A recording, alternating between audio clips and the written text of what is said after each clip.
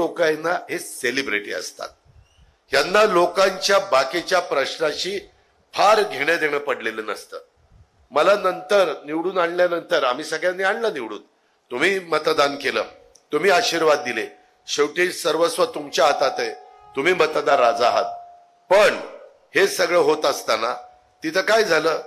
ते मला एक वर्ष दोन वर्षांनी म्हणाले दादा हे आपल्याला नको बाबा माझा पण फार व्यावसायिक परिणाम व्हायला लागला. मी कलावंत आहे मी अभिनेता आहे. मला वेगवेगळ्या मालिका करायच्या असतात. मला त्याच्या संदर्भामध्ये शूटिंग असतं. त्या शूटिंगला मला वेळ मिळत नाही. त्याच्यामुळं मी लोकांना वेळ देऊ शकत नाही. माझे चित्रपट असतात. अहो त्यांनी तर एका चित्रपटामध्ये नथुराम गोडसेची भूमिका केली.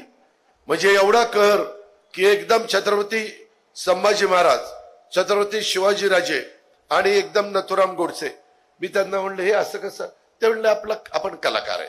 त्याच्यामुळे काय जे भूमिका सांगतील आणि जे आपल्याला मानधन देतील ते काम आपण करणार. अरे पण म्हणलं जरा तरी जसं काही अभिनेते खराब ऍडव्हर्टाईज करायला तयार होत नाही.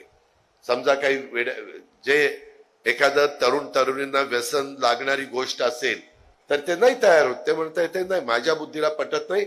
मी जरी पैसे मला मिळणार असतील तर ती जाहिरात मी करणार नाही. मी काहीतरी माझ्या समाजाचं जनतेशी बांधिलकी आहे. त्याच्यामुळे मी ते करणार नाही. असे पण उदाहरण आहेत. आणि काही काही पैसे करता कुणाच्या जाऊन लग्नात नसतील कुणाला वाढायला बसतील काही करतील. फक्त त्यांना पैसा पाहिजे असतो. आणि ते तेवढा पैसा मिळाला की कुणाच्याही वरातीत नाचत बसतात. काही कर काही म्हणजे ते जे सांगितलं ते करत असतात. नाहीतर म्हणतील अजित पवारांनी कलाकारांचा अपमान केला. तसं नाही कलाकार तर दिग्गज आहेत त्यांच्याबद्दल आम्हाला आदरच आहे. सांगायचं तात्पर्य त्यांना मी नंतर एवढं समजावून सांगितलं. डॉक्टर कोल्हे थांबा असं करू नका. तुम्ही राजीनामा देऊ नका. फार माझी अडचण होईल.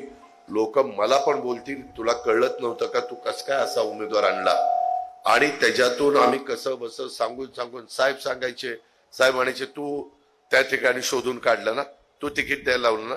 तू सांग आता त्यांना. आणि अशा पद्धतीनं कसं बस ते पाच वर्षाच्या करता बाबाला राजीनामा न देता तिथं थांबायला सांगितलं.